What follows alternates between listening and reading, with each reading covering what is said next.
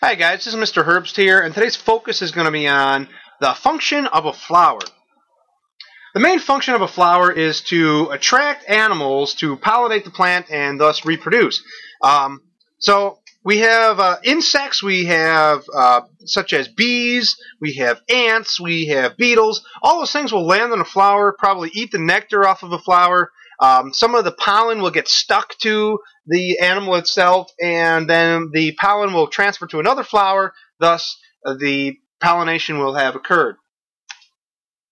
One thing, uh, one important thing that I want you guys to know out of this video is that there's actually a difference between pollination and fertilization.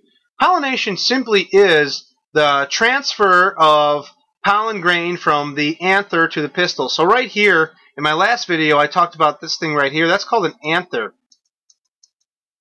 It's part of the stamen. It's part of the. It's the male part of the plant. Um, if we have pollen that goes right up here and gets stuck on the stigma, that's called pollination. But that does not actually produce a seed or another baby plant. Uh, in order to produce a baby plant, we have to have the pollen go all the way down to the style and then get in touch with an ovule. An ovule is an egg. It's a plant egg. And the ovule will come in contact with, this, with the sperm from the pollen, and that is called fertilization. So this process right here where we have um, pollen from the anther going up and getting in touch with the stigma, that's called pollination. But once that pollen goes all the way down through the style and gets in touch with the ovule right here, or otherwise known as the egg, that's called fertilization. Fertilization will produce a seed. That seed can be planted and produce a whole new plant. So where do seeds come from? Seeds are uh, enlarged ovules. They are so right down here. I have uh, each one of these things right here is an ovule. That's that's an egg. Once again, a seed is an enlarged ovule uh, that occurs after fertilization has occurred. Um, seeds are what makes new plants. So you put that seed in the ground and it makes a whole new plant. So a little bit more about seeds. Uh, there are some important parts to every seed. First off, we have the seed coat. That is the protective outer layer. So that's this region right here. All of this stuff right here, that's the outermost region of the seed, and that helps to protect the seed um, on its journey to become a whole new plant. Then we have the embryo.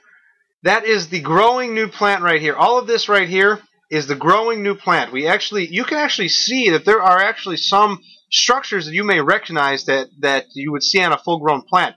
This right here is leaves. Uh, so this is the this is like a baby plant inside of a seed. You have a little baby plant that is the earliest stage of development for a plant. And then we have the endosperm. That is the food storage for um, that will support the growing embryo. So all of this stuff in here, that is the endosperm. The endosperm is is usually white uh, which is why most beans are white. Beans are a seed.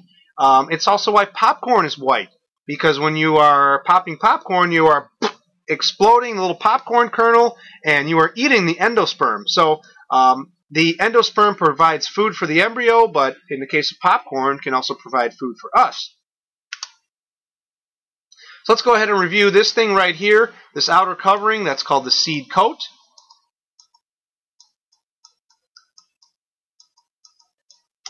Then this thing right here, all of this, is a little baby plant. It's called the embryo.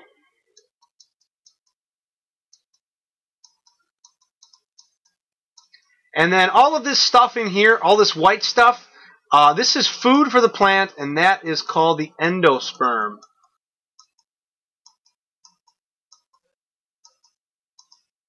Again, when you're eating popcorn, you are eating all of that stuff right in there.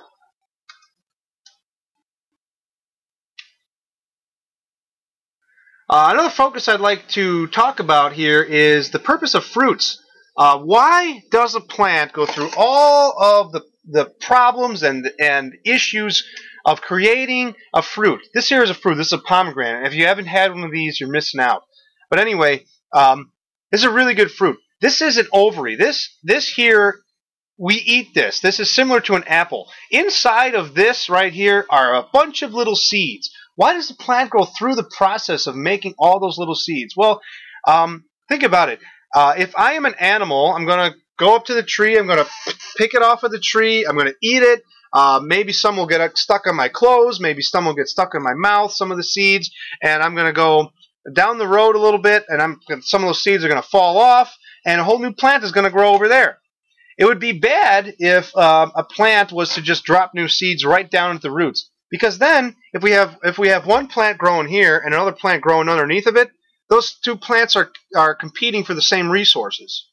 So what plants have evolved to do is develop these really, really nice tasting, juicy um, ovaries that we will eat, and some of the seeds will get stuck on us, and we will go down the road a little bit, and these will uh, produce a whole new plant so that those plants don't have to compete for resources.